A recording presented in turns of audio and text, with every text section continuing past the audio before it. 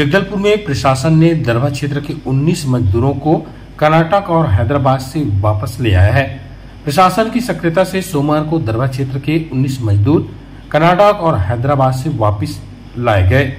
Collector विजय दयाराम के के मार्गदर्शन में जिला के श्रम विभाग द्वारा श्रमिकों को उनके मेहनताना की राशि ठेकेदारों से वसूल कर लाने पर कलेक्टर ने जिला कार्यालय की राशि का वितरण कर दिया।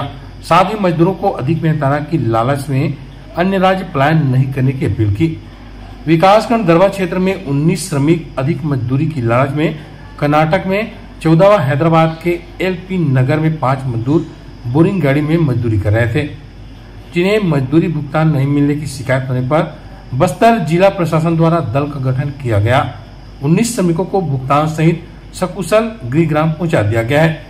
19 श्रमिकों को प्रशासन द्वारा राशि सात लाख इकतीस हज़ार पाँच सौ रूपए वापस दिलाया गया। इस अवसर पर सीओ जिला पंचायत प्रकाश सर्वे संयुक्त कलेक्टर सुनील शर्मा, श्रम विभाग के अधिकारी कर्मचारी उपस्थित थे। इस दौरान कलेक्टर ने कई लोगों को उनकी राशि गिनवाई।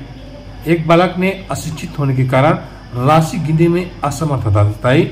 इसके लिए कलेक्टर ने उसे साक्षर बनने के लिए साक्षरता अभियान से जोड़ने के लिए शिक्षा विभाग के अधिकारियों को दिशा निर्देश किया।